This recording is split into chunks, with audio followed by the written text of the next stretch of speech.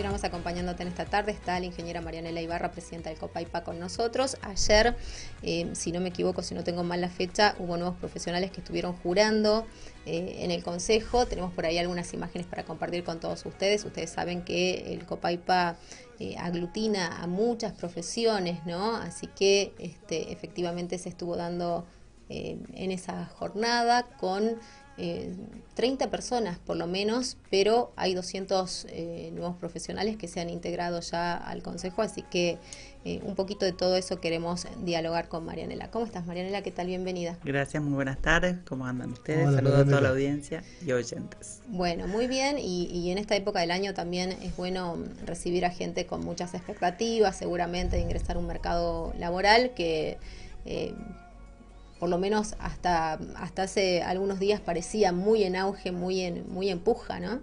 la verdad que contentos, como vos bien dices, ayer fue una jura representativa, pues en realidad fueron 30 por una cuestión de espacio pero desde junio hasta, hasta la fecha matriculamos más de 500 personas. Ah, mira, muchísimos. Sí, hacemos dos juras al año porque la verdad que vienen con una impronta importante. El requerimiento que hay del mercado laboral, de, tanto de ingenieros, técnicos, especialistas y distintas áreas que nucleamos, es muy importante. Estamos muy contentos porque realmente los chicos se reciben y antes de recibirse ya tienen trabajo, ya tienen ofertas laborales. ¿Y en qué número está de padrón? ¿El padrón cuántos integrantes tiene hoy? Y hoy debemos estar ya pasando los 5.000.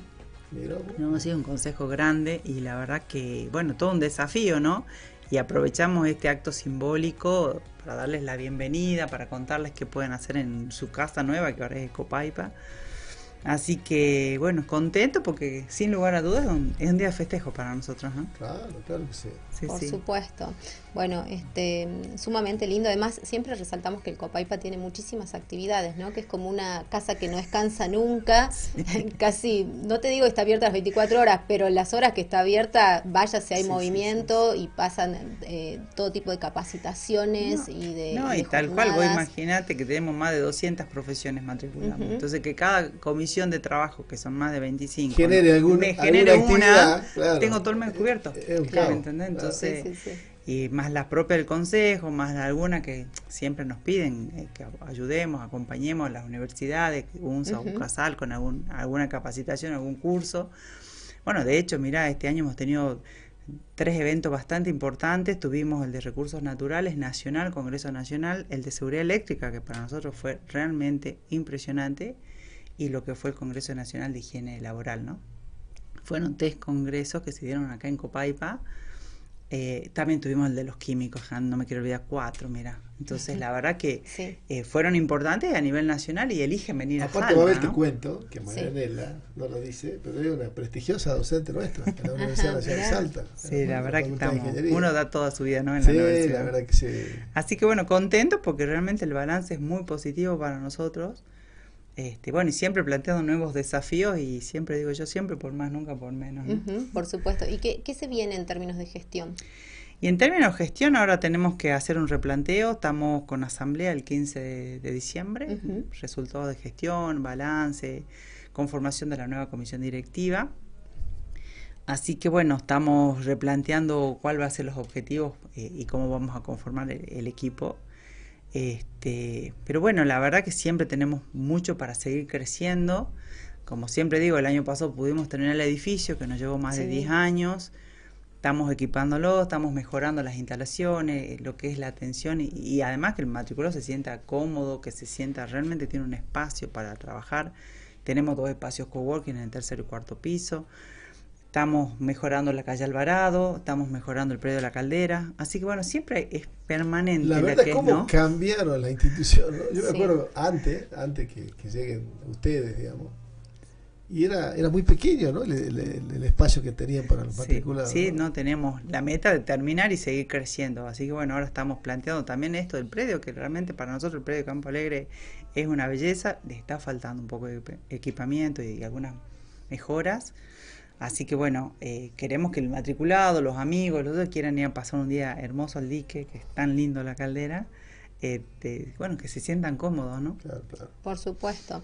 Bueno, son logros que, que, se van dando afortunadamente y quienes tienen la suerte de conocer las instalaciones en Copaipa realmente eh, salen maravillados, ¿no? Porque hay salones muy cómodos, eh, los espacios coworking son enormes, o sea que creo que, que cualquiera que necesite efectivamente eh, recibir a alguien, poder planificar su trabajo desde ahí. Hacer una reunión de trabajo. Por supuesto. Son precios bastante accesible. Y para los matriculados son sin costo, ¿no? Todo lo que es el uso de las instalaciones, claramente para nuestros matriculados, siempre lo quiero volver a decir, porque por ahí hay alguno que piensa, no, ¿cuánto va a salir? No, para el matriculado es absolutamente gratis, así que, eh, digamos, siempre a disposición, ¿no? De ellos. Claro que sí.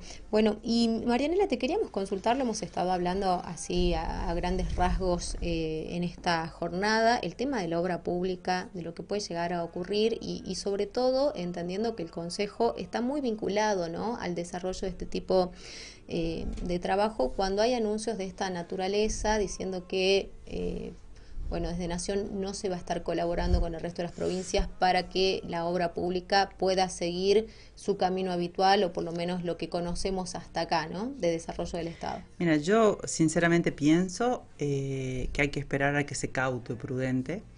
Creo que hay que esperar realmente las medidas que anuncie el nuevo presidente. Creo que la obra pública como tal creo que sí va a tener una vuelta.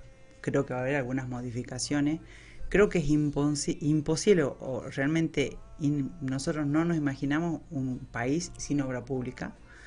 Creo que va a cambiar el esquema, va a cambiar seguramente la forma de, adjudicación, contratación, licitación. Es probable que sea ese un cambio importante. En cuanto a los fondos, creo que quiere hacer algo mixto, como hace Chile, público-privado. Eh, creo que hay que esperar las medidas. Y, y realmente yo siempre digo, es más, soy docente de este tema en particular en la universidad Creo que la ley de contrataciones no son malas, creo que son muy buenas, está toda la norma perfectamente establecida. Lo que por ahí falla en nuestro país, y siempre lo voy a volver a decir, son los controles, ¿no?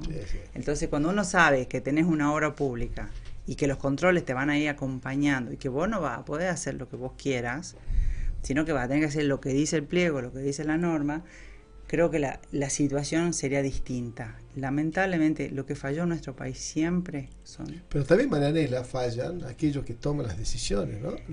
los ejecutores y cuando se toman las decisiones de a quién adjudicar. Entonces yo creo que, eh, viste que Milei lo que hizo es poner en tela de juicio lo que todos nosotros eh, sabemos, que una de las vías mayores de corrupción en Argentina siempre fue la adjudicación de la obra Pero no porque la, la, ley esté mala. No, no, no, la ley yo, yo la conozco, la conozco, eh, porque bueno, yo soy auditor eh, eh, y, tenemos la obligación de, de, hacer, de hacer que se cumpla la ley. Exactamente.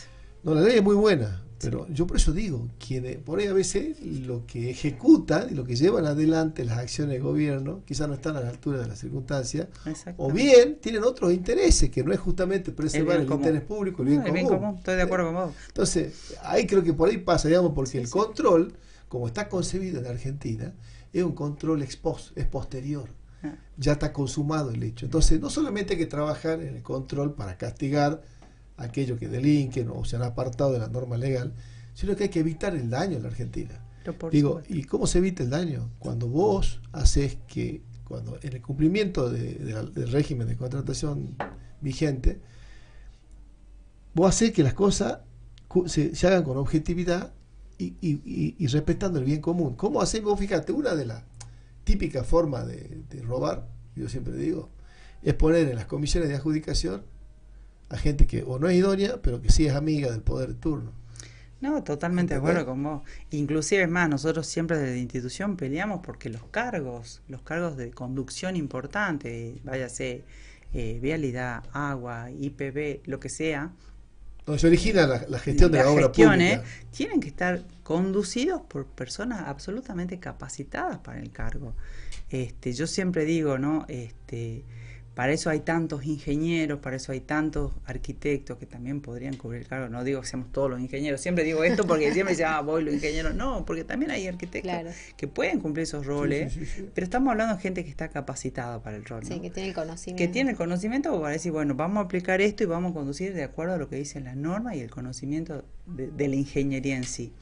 Y en eso nosotros vamos a seguir peleando y vamos a seguir defendiendo que claramente los puestos jerárquicos tienen que estar ocupados por profesionales que realmente tengan las incumbencias para poder avanzar. Pasa en, muchos ministerios también, ¿no? Por ahí los abogados están en todos lados, son los que han quedado bien ubicados en líneas generales, pero digo, generalmente no se da esto de decir, bueno, sí, es mi incumbencia, o sea, que alguien que se ha dedicado a la docencia sea ministro de Educación, generalmente no pasa, que es como el mundo al revés, esta, por lo menos esta provincia. Sí, sí, la verdad que uno esperaría, inclusive que yo entiendo que puede haber un lineamiento político, yo entiendo que puede ser gente que con, con el que el gobierno se sienta cómodo, pero bueno, entonces fíjate que sea uno de carrera y, está bien que sea acompañado por alguien de la parte política.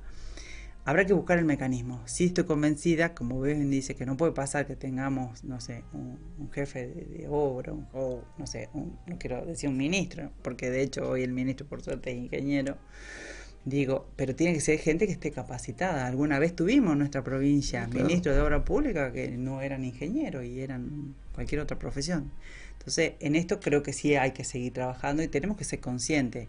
Y los políticos tienen que ser conscientes de la importancia que hay en poner a cada persona e, en el rol que realmente sabemos que va a ser de excelencia. Que, lo va a poder administrar de manera adecuada. Pero yo coincido con Manela, pero yo insisto en esto, digamos, es muy importante que sea competente, ¿sí? Sí, seguro. garantizar la competencia y que sea una persona idónea, pero fundamentalmente también que tenga en alto principios morales y éticos en el ejercicio de la función pública. Pero por supuesto. ¿Entendés? No, pero por supuesto. Y ahí también entra a jugar un poco la justicia, ¿no? Que el gran otro problema que yo entiendo que tiene nuestro país es la justicia. Entonces, que la gente está tan descreída de la justicia o no tiene el respeto que debería tener la justicia de decir, bueno, hasta que empiece un juicio, hasta que termine, en cuánto tiempo lleva, sea cual sea el juicio, ¿no? Digo, este, la gente hoy se siente que la justicia no tiene, no tiene la respuesta inmediata que a veces se requiere. ¿no? Y, no, le tenemos miedo a la justicia, realmente este, creo que la justicia es otro tema que hay que tratar en nuestro país. ¿no? ¿Has recibido consultas eh, por parte de los matriculados en torno a esto que, que, estamos planteando, por lo menos lo que se habla, lo que se menciona, lo que se conoce mediáticamente? Sí, hay mucha incertidumbre, hay mucha cautela. Eh, decir que viene en un, en un periodo del año que para nosotros es de baja, como diríamos en la construcción, porque entre diciembre y marzo es de baja por las lluvias y qué sé yo. Ah, sí, claro. Entonces como que, pero bueno, están todos como atentos, expectantes, este, sobre todo, bueno, lo que son las empresas que, las empresas que están con contrato vigente la van a terminar, digamos. Acá el problema es qué va a venir para las nuevas, las nuevas obras o los nuevos requerimientos que tenemos como país. Hay muchas obras, inclusive, que están preadjudicadas, adjudicadas y no saben qué va a pasar. Eh, creo que hay que ser cauto en, en, todo sentido, ¿no? Porque lamentablemente, como siempre hablamos, la economía es un problema de confianza. Y creo que a la gente hay que llevarle un poco de confianza. Asume ahora el 10 de diciembre y, yo digo, no, cada uno tiene que llevar confianza. Yo llevo confianza en mi casa y bueno, tranquilicémonos, veamos qué pasa. Porque si no es como que no le, ni siquiera le damos una oportunidad a decir, bueno, ¿qué es lo que quiere hacer? Me parece importante escuchar los mensajes, los discursos después de, que asuma el nuevo presidente y bueno, y, ver realmente cuál es el camino o el rumbo que realmente quiere para nuestra Argentina. Eh, bueno, hay que tener cautela. Sí, están todos muy preocupados. Yo creo que nunca hubo tanta expectativa, ¿va? yo no recuerdo ¿no? que, en un cambio, digamos, eh, de gestión y de signo político haya existido esta suerte de incertidumbre, como vos mencionás, tan acentuada y que se ve en todos los sectores, ¿no? Lo hablábamos con el ingeniero Viela también eh, la semana pasada, esto de que eh, se habían retraído todos los contratos de alquiler y aquel que tenía que renovar estaba medio en pausa. Eh, es más, yo me tomo el trabajo de, buscar y de chequear algunos clasificados y la gente ni siquiera contesta, ¿no? No, no, aparte de todo el mundo está en pausa, desde el que se quiere de vacaciones, el que quiere invertir en un auto nuevo, el que quiere viajar, el que, el que quiere construir, el que quiere alquilar o el que o el dueño del, del inmueble, digo, ¿no? Todos están en una hay como una tensa calma, digo yo. Pero bueno, eh, creo que hay que. Sí, yo, coincido con vos, evidentemente hay que esperar que, asuma y que vea que, que anuncie sus primeras medidas de gestión en materia económica. Bueno, pero algo ya estamos conociendo, ¿qué dice que va a hacer? Sí, pero si vos vas al, al, concepto básico de lo que es obra pública, yo siempre digo que esto es lo importante de entender. La obra pública es la obra que está destinada al uso común de toda la ciudadanía. Y eso no puede pasar que deje de existir. Seguramente hará un planteamiento distinto de lo que va a ser los sistemas, la forma, no sé.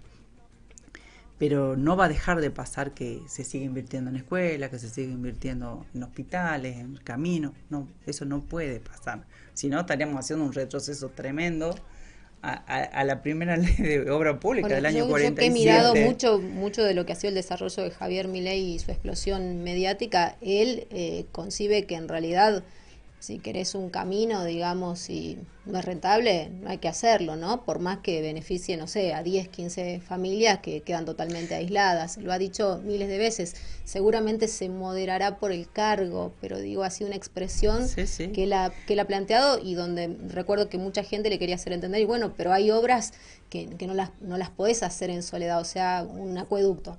No, o un mismo camino, si vos sabés que está detonado atrás y que se vayan muriendo no sé cuántas personas y que necesitan una reparación, no podés dejar de hacer. Porque esto lleva, sin lugar a duda, a lo que es la seguridad pública, a la gente. Entonces, creo que no es tan así que no va a existir más, digamos. Yo, de verdad, me cuesta creer, ¿no? Mira, recién estábamos en un reportaje con Emiliano Estrada creo que por ahí va a venir la mano. Yo creo que la idea que él tiene es que cada provincia se haga cargo de su obra pública. ¿Esto qué significa? Que cuando vos formules el presupuesto público para el año siguiente, un porcentaje importante del presupuesto esté destinado a obra pública, pero solventada con recursos propios de la gestión de cada, de cada jurisdicción, de cada provincia, en este caso, cada municipio. Entonces, a ver, Salta tiene el 80% de su presupuesto destinado a pagar sueldos y tiene con un aporte importante en Nación. Claro, y tiene un 5% del, de recursos propios destinado a obras públicas. O sea que la mayor cantidad de la obra pública que se hace en Salta se hace con fondos de la Nación. Entonces, a Salta sí le va a afectar, digamos, que no que la Nación corte los fondos para la obra pública. ¿Entendés? Entonces, lo que él está buscando en el fondo es que cada provincia, a futuro, redefina su presupuesto y en todo caso vea qué hace con el gasto en personal y qué hace con el gasto en obra pública y qué hace con el resto de los gastos que tiene el presupuesto. Y lo otro, el otro sistema que está planteando él, vos fíjate que él dice que hay que hacer a los chilenos, dice, ¿viste? Que el tema de iniciativa privada. Iniciativa. privada. Pero bueno, en materia tributaria hay tres hay tres tributos que son los más importantes. Uno, uno son los impuestos, otros son las tasas que generalmente las cobran los municipios, retributivos de servicio, y otra la contribución por mejora o de mejora que le llaman algunos. Bueno, eh, aquí entraría lo de mi ley, digamos, porque él dice, bueno, hay que dejarle al privado que haga el diseño, todo el costo de la, de la planificación, del estudio, de la obra, del proyecto así, y después que, que los paguen aquellos que son beneficiarios de la obra pública. Eso es contribución por mejora, digamos, decir, yo te hago el pavimento, quienes lo soportan, los vecinos que son frentistas del pavimento. Y lo que, a medida que y todos los, vecinos que colateralmente se benefician, digamos. Entonces, se fija un, modelo de, de, prorrateo de esa obra pública en función de los frentistas y de las obras y de, los vecinos, digamos, más cercanos a esa obra. Digo, es volver